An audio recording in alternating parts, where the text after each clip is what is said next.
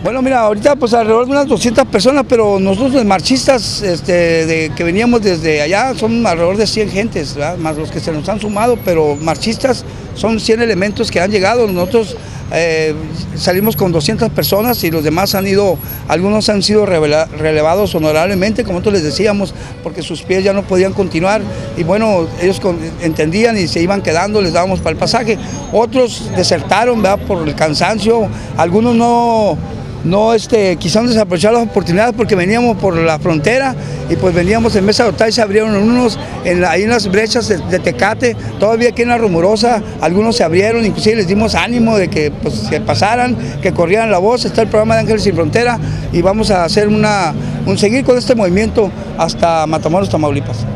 Yo cuando me aviento esta marcha lo hacemos con más con un deseo de llamar la atención, pero ya cuando vi el sufrimiento de ellos, que vienen sin zapatos, no tienen tenis, con sus ampollas, sus pies todos agrietados, y sin embargo que no se rajan, yo creo yo como encabezando esta, esta marcha, como líder, también tengo que cuidarlos y vamos a hacer un presupuesto, vamos a conseguir tenis, todo el equipaje que necesitan, vamos a caminar por ejemplo Sonora, es desierto, allí que tendremos que llevar nuestras casas de campaña, tendremos que llevar agua, tendremos que llevar cantimplores, de tal manera que hagamos una cosa bien hecha, ¿no? Acuérdate que es una marcha